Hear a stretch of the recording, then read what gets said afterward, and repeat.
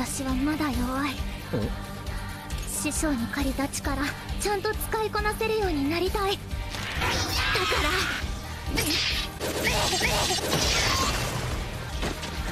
もっとギリギリの戦いが必要。ちゃんと強くなるために。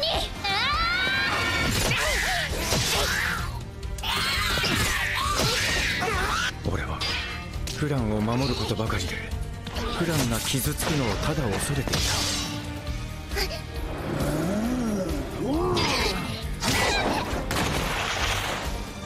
だけどフランが欲しいのは借り物の見せかけの強さじゃない。傷と痛みに耐え視線を乗り越えた先で手に入る本物の強さだ。フランにはその覚悟はもうすでにあったんだ。師匠は援護は師匠の俺も覚悟を決めよう。回復と背中は任せろから来る奴ら全部責任持ってきっちりぶった切れ。行くヘビースラッシミドルヒール。ュもっと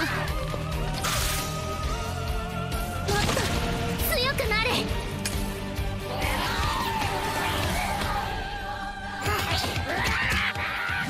フランは弱いだけの子猫じゃない。己の理想を目指し牙を研ぐ。猛獣の子だ。